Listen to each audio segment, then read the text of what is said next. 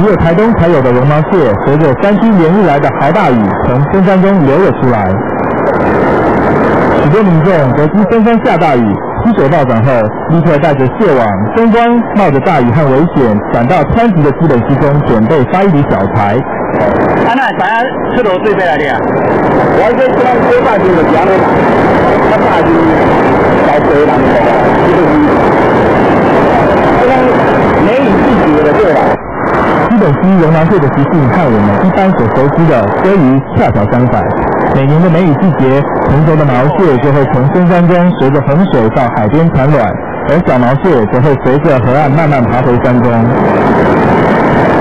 这季的母毛蟹都有饱满的蟹黄，是老饕们的最爱，也因此能够卖一个好价钱。但是近年来，因为民众的过度捕捞，已经使得毛蟹的数量锐减。如果再这样子下去，属于台东基本溪才有的绒毛蟹，将会在台湾东部的河川中逐渐消失。《民事新闻》李玉汉台东报道。台北县三重地区上个月因为自然